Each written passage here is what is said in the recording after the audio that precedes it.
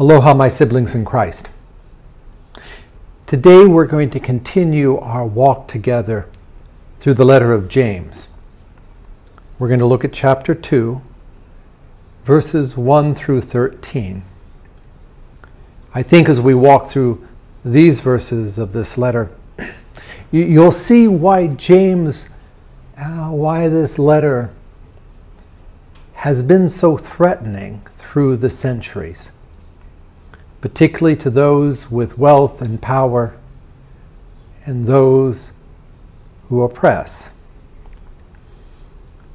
You'll see why it's been considered radical. But first, as is our custom, let us pray. Grant, O God, that following the example of your servant James the Just, brother of our Lord, your church may give itself continually to prayer and to reconciliation of all who are at variance and enmity. Through Jesus Christ our Lord, who lives and reigns with you in the Holy Spirit, one God, now and forever. Blessed Lord, who caused all holy scriptures to be written for our learning, grant us to hear, hear them, read, mark, learn, and inwardly digest them, that we may embrace and ever hold fast the blessed hope of everlasting life, which you have given to us in our Savior Jesus Christ, who lives and reigns with you in the Holy Spirit, one God, now and forever. Amen.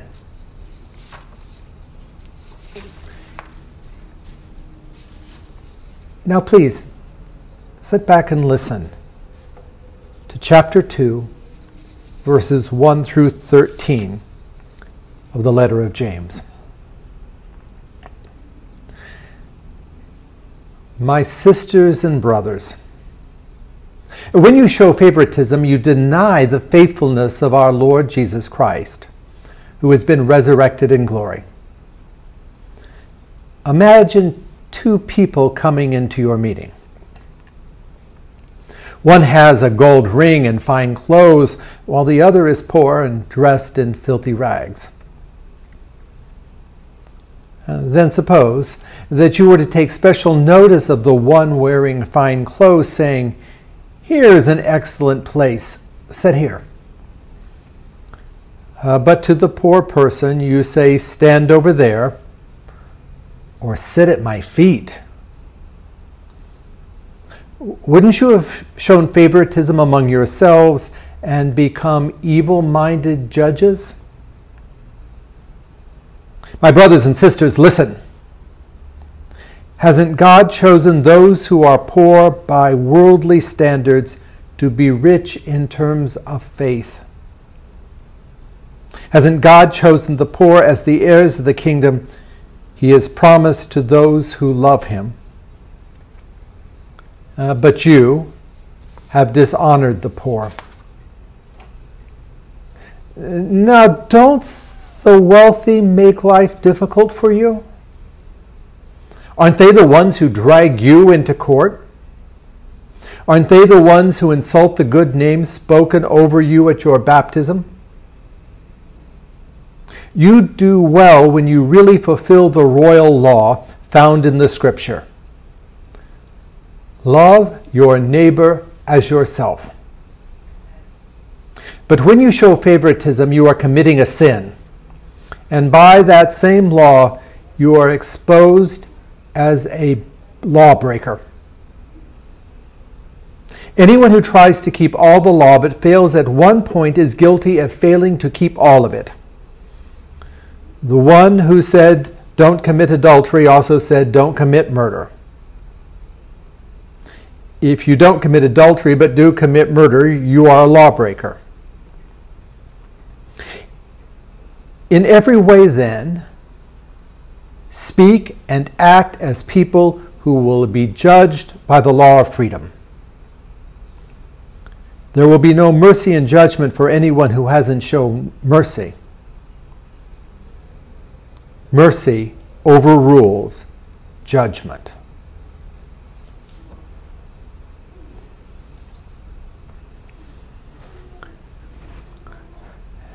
I think you can see that this is a pretty radical statement.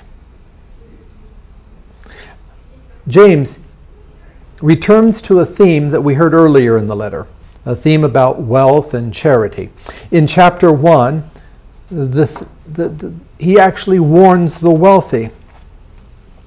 Those who are wealthy should find satisfaction in their low status because they will die off like wildflowers. The sun rises with its scorching heat and dries up the grass so that its flowers fall and its beauty is lost, just like that. In the midst of their daily lives, the wealthy will waste away. And remember the call to be generous? It was in chapter 1, verse 17. Every good gift, every perfect gift comes from above. These gifts come down from the Father, the creator of the heavenly lights, in whose character there is no change at all. Now, now here in this part of the letter, though, James is speaking to a specific community at a specific time. But the lesson is for us, the Christ believers in this age. When he, when he writes, My brothers and sisters, when you show favoritism, you deny the faithfulness of our Lord Jesus Christ, who has been resurrected in glory. James assumes the poor have a very important place in the life of the church. Being rich doesn't give you pride of place or a bigger say. I think you might even take it further. Being in a church a long time doesn't give you pride of place or a bigger say. Or in our churches, being a lifelong Episcopalian doesn't give you pride of place or a bigger say. Coming from the family who gave the window or the bowl in which children are baptized doesn't give you a pride of place or a bigger say. No, it's about faithfulness. So, so, take note, he's talking to a, a, living, breathing community of Christ believers. He doesn't use the term ecclesia church, but he's talking to the church. He's talking to you and, and to me. Now, this is still early in the life of those Christ believers, those followers. But he's explaining that if you have a relationship with God through Jesus, who is the Messiah, there's a consequence to your behavior. Your faith changes what you do because it's changed who you are. Uh, uh, and he makes note that the resurrection is a manifestation of God's glory. The language here, it, it, points, it points away. The Lord Jesus provides the hope for the future that will be coming. And then he tells a story. You have to wonder had he heard something? Was this more than a story for those first hearers? Uh, uh, you know, he tells the story. Imagine two people come in. Now, you, you heard it. Now, now, one of them is really dressed fine. Big gold ring on his finger fancy clothes. And you say to him, Go, Come here. This is a really good place to sit. You can hear what's going on, you can see what's happening. And someone else comes in, poor, filthy clothes. One might even imagine a bit of a smell. He said, Why don't you go stand over there? Or, or here, you, you can have a place. There's the little room on the floor right here by my feet. Just, just, just come, just be, be, be quiet. Now it says meeting. Now the, the, the meeting, the word used for meeting here is a common first century Jewish word for meeting. It's not ecclesia, which is also used in some parts of the Jewish community, but was used particularly by the church that became the word church, ecclesia. But no, this is meeting. So, so you can imagine we may be talking about that gathering of believers before there was a building, maybe house church. But these were God's people and they were together.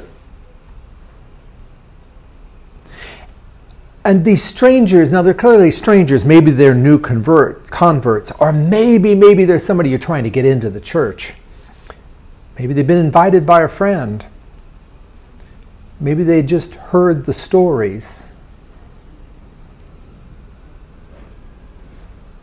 But, but you've got to understand the rejection of that poor, smelly person and the telling of the rich person to sit down. Yeah, maybe that's human nature. It, it might have been that the community were afraid of those poor folk. More likely, the community was made up of those poor, poor people. And can you imagine a rich person showed up? Maybe he'll pay for dinner next week.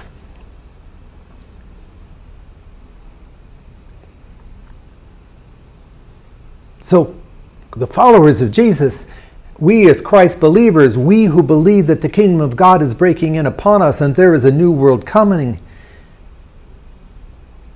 we have to reject our unconscious hierarchies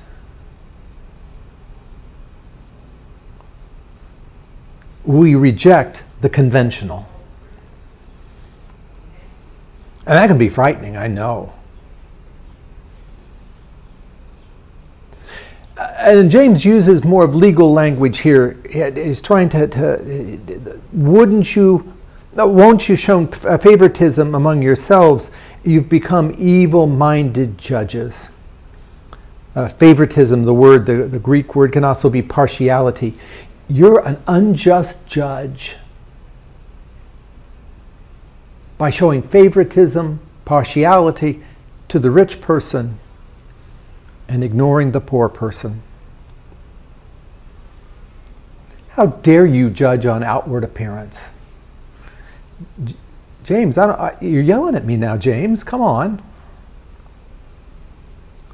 But you've, you've struck a chord.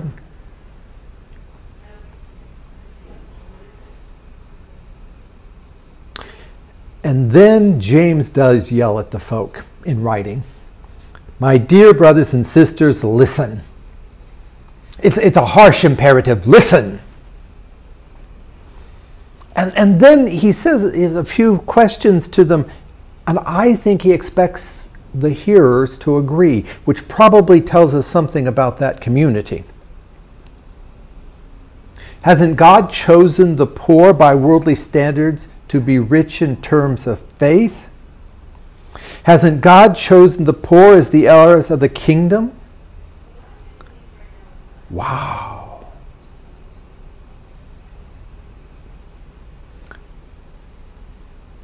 Faith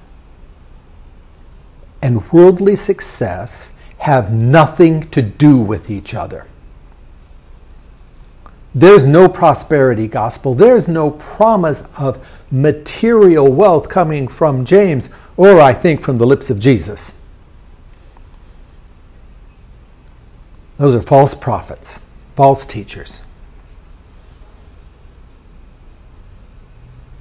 No, God has chosen the poor because of their faith. He's not going to reward the poor with wealth because of their faith. For James, the time is coming. The time for judgment. So if you say you believe, change the way you act. He's even said, You all dishonor the poor. Wow. And as I was reading this again, it reminded me it may not have even been conscious. I don't know about you, but I sometimes don't see the poor. I don't even see them. My eyes are blind, my ears are stopped.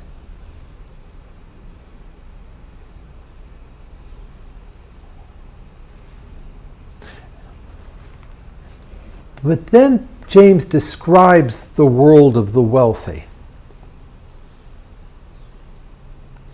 Don't the wealthy make life hard for you? Don't they drag you into court? Don't they insult you and make fun of your faith? Don't they deride you for your baptism? Now, clearly, clearly, James thinks the, those who hear this letter will go, Oh, yeah, you know those rich people. They're the ones that caused me trouble. They have the money to go to court and sue me.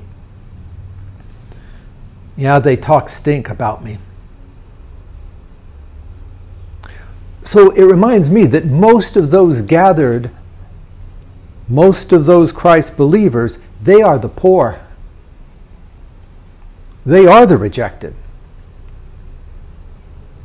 Ah, but even the poor and the rejected can be fooled by the wealthy who come into the room. Ah. Oppression is internalized. Ah, you see why James, why this letter, they didn't like it in Central America when the liberation theologians read it out loud.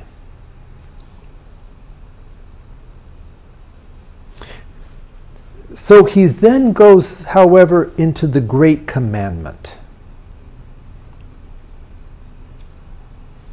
We're, we're right back to Matthew. You will love the Lord your God with all your heart and all your mind and all your soul, and you will love your neighbors as yourself. Or as James writes in, in verse 8, you do well when you really fulfill the royal law found in Scripture Love your neighbor as yourself. I, love that, the royal law. This is the final one. This is the only way anyone's going to tell whether we're the followers of Jesus or not. When you show favoritism, he writes, you are committing a sin. Wow. He went right to it then, didn't he? You're sinning. And the law the royal law, the great commandment, shows you to be a lawbreaker. Now, you know, you know that James had in the back of his mind the sayings of Jesus from the Sermon on the Mount. Remember Matthew 5:19? Therefore, whoever ignores one of the least of these commands and teaches others to do the same will be called the lowest in the kingdom of heaven. But whoever keeps these commands and teaches people to keep them will be called the greatest. And even uses the same phrasing that James did. In verse 11 of chapter 5, the one who said, Don't commit adultery, also said, Don't commit murder. So James the commission of adultery and murder gets connected to the great to the um, Sermon on the Mount in Matthew 5, 21, 22. Ah, uh, you see, the author he's taking what he knows. But more importantly, what God's people know. And he's saying to them, now, now, you know this. This is your faith. We know the sayings of Jesus.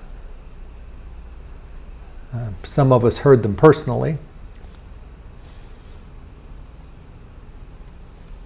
Then why have you forgotten? Why do you show favoritism? Why don't you welcome the humble In verse 12, in every way then speak and act as the people who will be judged by the law of freedom. Oh, Now, you see how he's turned the law upside down? It's not a barrier, it's not a bond upon you. The law, the royal law, love the Lord your God with all your heart, all your mind, all your soul, and love your neighbor as yourself, actually gives you freedom, gives me freedom. I'm free from my prejudices if I live into the law. The law of freedom breaks down the hierarchies of community and of time.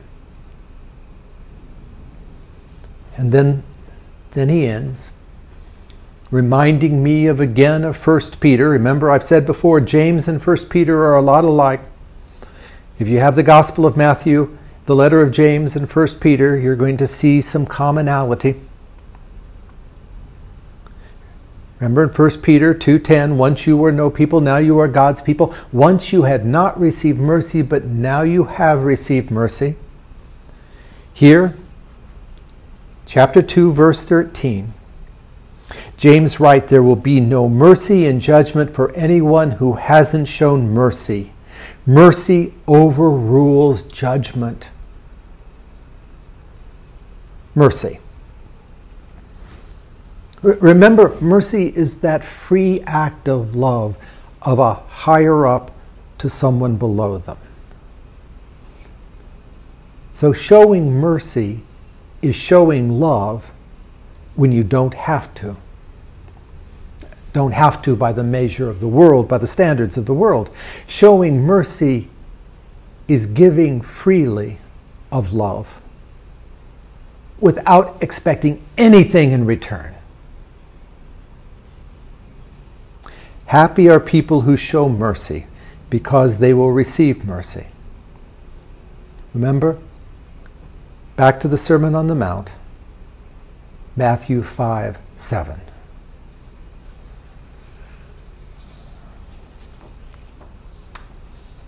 So James is holding each of us account to account. Each of us, you and me, about how we treat others, but most importantly, how we truly invite and welcome others into our faith community, into our gathering as the people of God.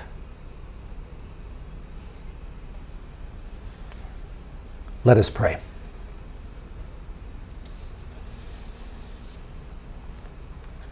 Heavenly Father, in you we live and move and have our being.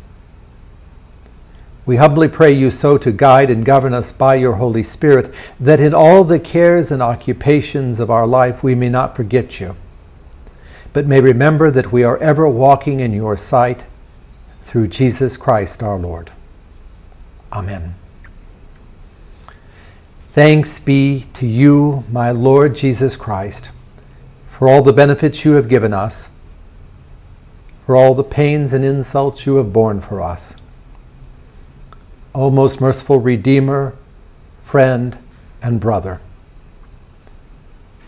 may we know you more clearly, love you more dearly, and follow you more nearly, day by day. Please know God loves you.